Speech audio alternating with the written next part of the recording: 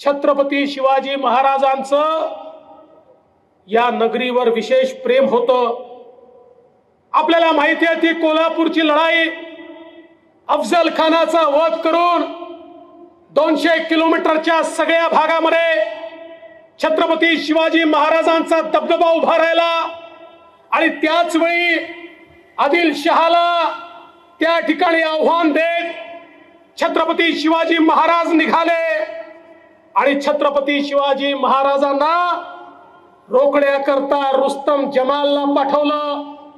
दहा हजाराचं सैन्य घेऊन रुस्तम जमाल त्या ठिकाणी आला. छत्रपती शिवाजी महाराज नेताजी पालकरांना सोबत घेऊन साडेतीन हजार मावळे घेऊन त्या ठिकाणी पुढे आले. दहा हजाराची फौज होती हत्ती होते घोडे होते.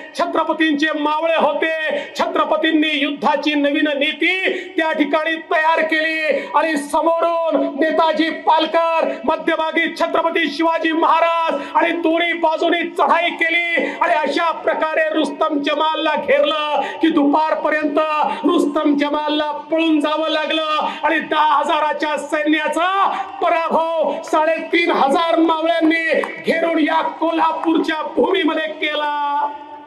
बंधू भगिनींनो ज्या प्रकारे छत्रपतींनी रुस्तम जमालला तिन्ही बाजूनी घेरून घरी पाठवलं तसंच या तीन पक्षाच्या महाविकास आघाडीला या उत्तर कोल्हापूरमध्ये आपल्याला घेरून घरी पाठवायचं आहे. खरं म्हणजे ही भूमी छत्रपतींची भूमी आहे.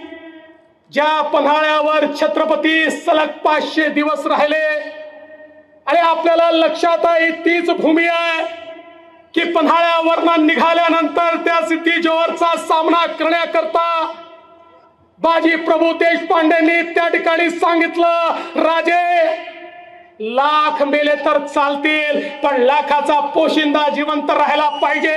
तुम्ही ठिकाणी मुकाबला करतो आणि त्या ठिकाणी पावन खिंडीमध्ये आमचे केवळ पाचशे मावळे दहा हजाराच्या फौजांना पुढे गेले आणि त्या फौजांना पराजित केलं.